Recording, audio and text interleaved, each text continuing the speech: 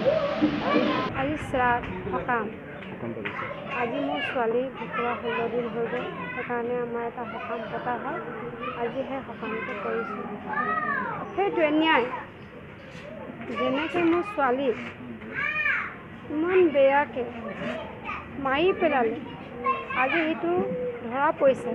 মই চৰকাৰৰ পৰা এইটোৱে অনুৰোধ জনাইছোঁ আনৰ পৰা এইটোৱে গুহাৰি কৰিছোঁ যে মোৰ ছোৱালীক ন্যায় পাব লাগে আৰু হেৰি দোষীক শাস্তি দিব লাগে। ফাঁচী। যদি চৰকাৰে আমাৰ দাবী মানি নলয় মোৰ মুখ বন্ধ হৈ নাথাকিব। ফাঁচী।